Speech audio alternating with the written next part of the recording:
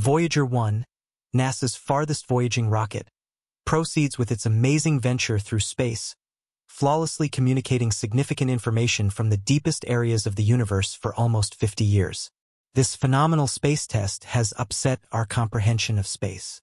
However, as of late, the space apparatus has been communicating disturbing information back to Earth, leaving the whole space industry in shock. Are these disrupting information the consequence of a specialized breakdown or the exercises of extraterrestrials? Join us as we uncover reality behind these stunning transmissions. Since the beginning of recorded history, researchers have been enthralled by the secrets that falsehood passed our heavenly lines. This interest prompted the historic send-off of the Explorer 1 and Explorer 2 shuttles, among other wonderful space missions. These momentous missions, which have been talked about for quite a long time, started with the send-off of Explorer 2 from NASA's Kennedy Space Center on August 21, 1977. Fourteen days after the fact, on September 5th of that very year, Explorer 1 followed suit. These twin tests, each gauging a significant 720 kilograms, comparable to a little vehicle, were pushed into space during a novel arrangement of the outer planets. All through their staggering odyssey, these courageous voyagers explored different directions and speeds, driving to a crucial second on December 15, 1977, when Explorer 1 outperformed its indistinguishable twin because of varieties in their way. From that point forward, Explorer 1 has turned into a significant asset, giving us with a wealth of information and disentangling space-related secrets. Before we plunge into Explorer's startling new revelation that stunned the whole space industry, we should investigate the exceptional pictures caught by the rocket during its pivotal Jovian imaging mission in 1978. Explorer 1 was positioned roughly 265 million kilometers from Earth. From this vantage point, it communicated a stunning number of photos back to Earth. In January 1979, it set out on an exceptional 100-hour try capturing a hypnotizing timeslip by film exhibiting 10 turns of Jupiter. A cornucopia of 3,750 pictures permitted us to observe Jupiter's magnificent dance in distinctive detail. In the resulting months, Explorer 1 wandered through the Jovian moon framework, where it made a striking revelation, the presence of a little ring surrounding Jupiter and furthermore, two new moons. The WATS and MES were drawn out into the open, further extending how we might interpret Jupiter's fascinating domain. To guarantee safe entry and prevent a potential impact with Titans, one of Saturn's moons, corrective moves were executed. Explorer 1 proceeded with its heavenly journey around Saturn, revealing four additional moons, Mimas, Enceladus, Tees, Dione, and Rhea. With the culmination of the Saturn mission, researchers chose to close the Explorer planetary mission, pushing both Explorer 1 and Explorer 2 past the bounds of our planetary group, leaping through space at an amazing rate of 325 million kilometers each year. In January 1990, another chapter began, the Explorer Interstellar Mission. During this stage, Explorer 1 delivered some of the most notorious photos in history, immortalizing the Sun and the majority of the planets. One person who played a vital role in broadening the missions beyond their initial objectives was the prominent stargazer, Dr. Vachel Sands. As a part of the Explorer mission's imaging team, Dr. Sands ardently advocated the idea of capturing one final set of pictures, a goodbye gift to humanity. Against all odds, his steadfast determination bore fruit on February 14, 1990, when Explorer 1 positioned 6 billion kilometers from the Sun, left on a visual excursion. This is well known as the To Catch What Planetary Group family picture. These stunning pictures, adding up to 60 in number, added to the shuttle's remarkable assortment of 670 photos. During its encounter with Neptune, Voyager 2 achieved an uncommon accomplishment. It recorded wind speeds exceeding 13,100 meters per second, making it the fastest wind of all time documented within our local planet group.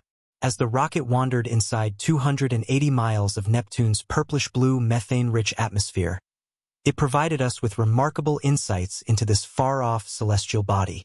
Eminently, Neptune's largest moon, Triton, was revealed as one of the coldest residents within our planetary group, with surface temperatures diving to a frigid 391 degrees Fahrenheit.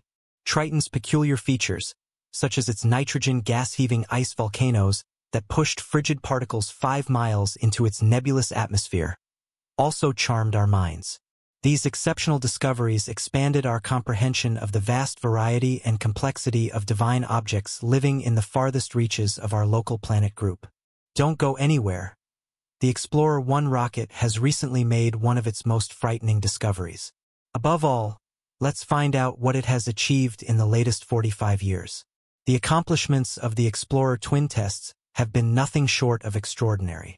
More than four decades ago, their initial observations of Jupiter and Saturn's moons left scientists in awe and broke past assumptions about these remote universes. These moons, once believed to be dormant and heavily scarred like our own moon, turned out to be overflowing with geological activity. Explorer 2, in particular, achieved several exceptional achievements during its journey. It made history in 1986 by becoming the first shuttle to fly by Uranus. Just three years later, it achieved another remarkable feat with a flyby of Neptune. Up to the present day, it remains the sole rocket to have ventured on such a path. As the Explorer rocket continued its journey, NASA carried out various measures to extend its operational lifespan. Over the recent years, unnecessary parts and heaters have been deactivated to conserve energy, ensuring that these courageous explorers can continue their mission well into the next decade. Their estimated mission end date is set for 2030. For the scientists and engineers who have been involved in this remarkable project from the absolute beginning, the culmination of the Explorer missions is both a moment of pride and a tinge of melancholy. Their steadfast dedication and passionate efforts have far surpassed their initial expectations. The wealth of data returned by the explorers has provided valuable insights, fueled numerous scientific discoveries, and ignited the imagination of countless researchers and space enthusiasts. Explorer 1 and Explorer 2 were no ordinary space probes. They were meticulously designed as stable platforms with a rotation rate over 15 times slower than the hour hand of a clock. This design decision minimized visual blurring as the spacecraft captured images and data while journeying through the infinity of space. Even before their encounters with the outer planets, their impressive imaging abilities began to astonish scientists and the public alike. The spacecraft began transmitting images of Jupiter before reaching the gas giant. These early images, displaying the swirling clouds and iconic Great Red Spot, delighted audiences at NASA's Jet Propulsion Laboratory. However, it was the discovery of active volcanoes on Jupiter's moon, Io, that truly took the spotlight. Io, somewhat larger than Earth's moon, turned out to be the most volcanically active body in our solar system. The spacecraft's instruments identified peculiar signals from Io, which were confirmed by the distinctive images they captured, towering volcanic plumes and a surface scarred by volcanic material. Eruptions were revealed. One of Io's most prominent volcanoes has erupted with a force 10 times greater than Mount Everest, covering an area almost the size of France. While the spacecraft's cameras were ultimately shut down to conserve power and memory before their journey into interstellar space, it is noteworthy that the photographs they captured did not include Mercury and Mars for various reasons. Aside from the Explorer 1 and Explorer 2 interstellar probes, NASA has also operated other prominent spacecraft like Voyager 10, Voyager 11, and New Horizons. Explorer 1 passed by Voyager 10 on February 17, 1998, marking the occasion when Voyager 10 became the most distant spacecraft. Explorer 1 continued its solitary journey for an additional 14 years before finally entering the interstellar environment on August 25, 2012. Although there were no other space probes in sight to witness, NASA didn't publicly announce this remarkable achievement until 2013. What are the procedures used that ensured the success of the Explorer missions? In the incredible Explorer missions, one method stood out as particularly brilliant, gravity assist maneuvers. These maneuvers played an essential role in propelling Explorer 1 and Explorer 2 on their audacious mission to explore the outer reaches of our solar system. To reach these distant destinations and gather valuable data, the spacecraft needed more than just their own propulsion systems. They needed a boost, and gravity assists provided just that. Imagine the two fearless rocket, Voyager 1 and Voyager 2, embarking on their grand tour through the local planet group. Instead of relying solely on their motors, they engaged in a celestial dance with some of our local planet group's heavyweight planets. This incredible dance allowed them to leverage the vast gravitational pull of these giants to slingshot themselves on their way. In turn, they could conserve valuable fuel and gain the speed needed to visit various destinations. Let's delve into the fundamentals of gravity assist, also known as a gravitational slingshot. The idea behind this maneuver is to transfer some of a planet's energy to the spacecraft as it passes by picture. Explorer 1 approaching Jupiter, a massive gas giant with a gravitational pull to match. With meticulous precision, Explorer 1 swung by Jupiter at the perfect angle and speed. Jupiter's gravity tugged at the spacecraft, accelerating it to a higher velocity and providing it with a significant boost. Performing a gravity assist maneuver requires exceptional precision. If Explorer 1 had approached Jupiter at the wrong angle or speed, the slingshot might have resulted in a disastrous deviation from its intended course. The level of accuracy required is daunting. However, the brilliant minds behind these missions successfully executed these gravity assists multiple times, propelling the Explorer spacecraft on an astonishing journey through the local planet group. Explorer 2 for example, utilized gravity assists from Jupiter and Saturn to reach Uranus and Neptune. These celestial maneuvers were of vital importance in making the Grand Tour possible. The Explorer missions owe much of their success to these gravity assist maneuvers. Explorer 1 continued to reach interstellar space, with Explorer 2 quickly following suit, all thanks to the accuracy of these maneuvers. The concept behind gravity assist is simple, but the execution is extremely complex. Explorer 2's Grand Tour required a level of precision where missing any of these slingshots could have resulted in a failed mission. However, the dedicated individuals behind these missions were determined and steadfast in their pursuit of knowledge. While gravity assists played a significant role in exploring the universe, another critical component ensured the success of the Explorer missions. The Deep Space Network, DSN, often considered the interstellar phone line that kept us connected to our brave Explorer probes as they ventured into the great unknown. The DSN, though less flashy than a spacecraft, is equally indispensable. The Deep Space Network is a network of massive radio antennas strategically positioned around the world, including locations in California, Spain, and Australia. These gigantic dishes, ranging from 26 to an incredible 70 meters in diameter, act as vast amplifiers, facilitating communication with spacecraft traveling beyond our planet. Let's explore the role of the DSN and the Explorer missions. The Explorer probes, equipped with cameras, sensors, and instruments, served as our eyes and ears in the vastness of space. To make sense of the data they sent and to provide them with new instructions, a robust communication system was essential. That's where the DSN came into play. Imagine the scenario Voyager 1, on its way to the outer reaches of the solar system, sends a message back to Earth. There's a faint signal traveling at the speed of light. As it traverses the infinite expanse, the signal weakens. By the time it reaches Earth, it's barely a whisper. However, the colossal radio antennas of the DSN are poised to capture that whisper. They lock onto Voyager's weak signal, working on it and transforming it into data that scientists can analyze. But the DSN doesn't just receive signals. It also sends commands.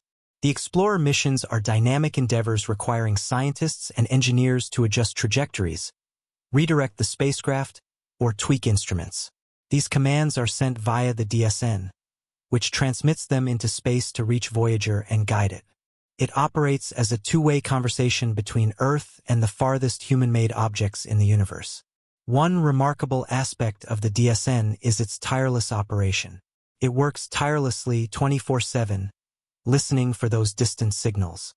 It's like an unblinking eye on the universe, ensuring that we stay connected to our space probes even when they are billions of miles away.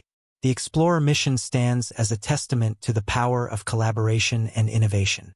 While the spacecraft embarked on their grand journeys, the DSN ensured they were never truly alone.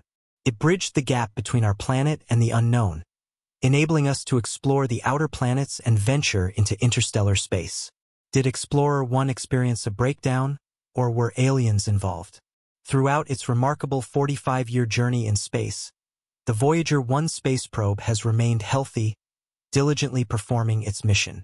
However, in recent times, experts have noticed some abnormalities in performance that have sparked interest and curiosity. Explorer 1 is currently sending peculiar signals back to Earth, creating the impression that it is uncertain about its exact location coordinates. What makes this discovery even more perplexing is that the initial data received from Explorer 1 were incomprehensible and unimaginable, leaving NASA scientists puzzled. Upon examination, scientists found that the culprit behind the distorted data was the Attitude Articulation and Control System, AACS. This embedded equipment is responsible for measuring, reporting, and adjusting the spacecraft's position in space. It has an antenna directed towards Earth, enabling it to send data back home. The malfunction had occurred when the software abruptly changed to sending its telemetry data through a faulty embedded computer that had been dormant for years.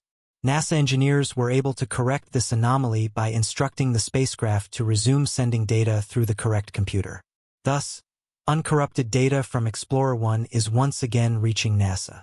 However, the question that remains unanswered is why the spacecraft switched to the malfunctioning computer in the first place. While NASA scientists have put forward a hypothesis that a faulty command from another onboard computer might have triggered this strange behavior, they have yet to pinpoint the exact cause. To get to the bottom of this mystery, Susan Dodd, the project manager for the interstellar mission, stated that they intend to conduct a thorough memory readout of the spacecraft and fully analyze its operations. This in-depth examination aims to examine the issue that led to the telemetry issue. It is noteworthy that despite the erratic data transmission, the spacecraft itself seems to be functioning properly, and none of the spacecraft's fault protection systems have been triggered. As such, Explorer 1 has not been forced into safe mode, and its signal remains of strength for parts. A possible factor contributing to this inconsistency is the harsh environment of space. Cosmic radiation and extreme temperature fluctuations can pose challenges to the operation of a spacecraft like Explorer 1. Cosmic radiation consists of high-energy particles originating from distant stars and galaxies. These particles can penetrate spacecraft structures, causing electrical disturbances, data signal distortions, memory errors, and data corruption. Additionally, temperatures in the vastness of space can drop to bone-chilling levels or soar to scorching highs, putting immense stress on the spacecraft's components. Despite the rigorous testing and meticulous engineering that went into designing Explorer 1 to withstand these conditions, the harsh realities of space can still take a toll over time. Another intriguing possibility that has captured the imagination of some is the idea of extraterrestrial interference. Could Explorer 1's anomalous behavior be attributed to the actions of intelligent beings from beyond our solar system? While this idea may seem more akin to science fiction than reality, it's not entirely outside the realm of possibility. The vastness of space and the countless exoplanets it harbors leave room for speculation about civilizations far more advanced than our own. However, before jumping to conclusions of alien intervention, scientists are diligently examining every aspect of Explorer 1's irregular behavior. Whether the spacecraft's anomaly is due to a technical glitch, cosmic radiation, or something else entirely, remains to be seen. But one thing is certain. The mysteries of space continue to intrigue and inspire us, driving our relentless quest for knowledge and understanding of the cosmos.